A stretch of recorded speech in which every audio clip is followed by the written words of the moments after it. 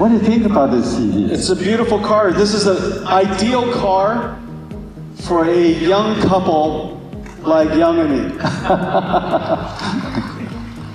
Isn't that beautiful? The ideal young couple car. Yes, this is built for young couples. And we call it Model B, which stands for beauty and peace. Okay. It runs like a Which, which, which one are you and which one am I? so this is the schematic of what Young and I are building. And I drew it myself. And this AI factory, if you will, takes raw material in, which is called data, process it in a factory, an AI supercomputer, running the artificial intelligence neural network model, and it produces, it produces intelligence. This is a factory that takes data input and produce intelligence as an output. Exactly. It's a factory. It's an AI factory. And in the future, every industry, every company will have AI factories.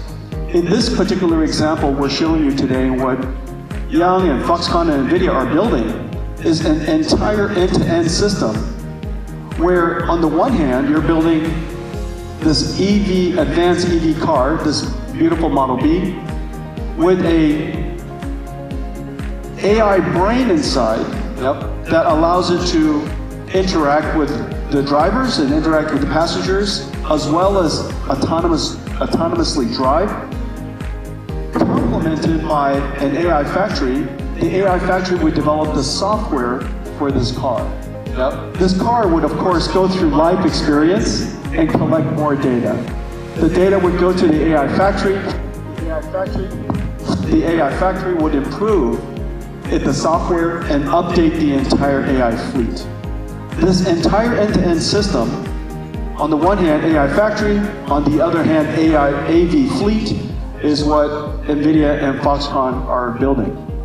Yes, this great concept of uh, AI factories, you know, it just so happened that uh, we're trying to, Foxconn is trying to convert itself from a manufacturing service company to a platform solution company.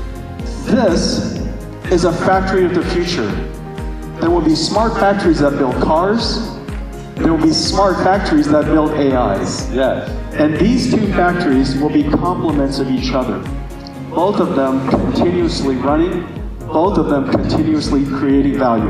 Right, and the most importantly is that we are building these factories together. Yes, we're building these factories together. and uh, Foxconn is building all this together.